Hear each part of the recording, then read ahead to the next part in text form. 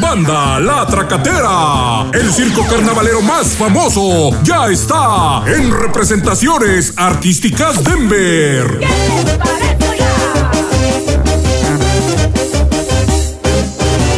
Banda La Tracatera, ¿qué, qué le parece, oiga?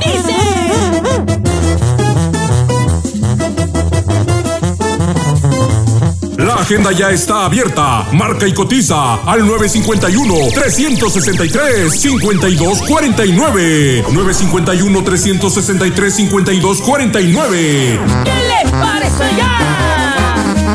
Banda La Tracatera y muchos artistas más en representaciones artísticas Denver. Solo grupos originales.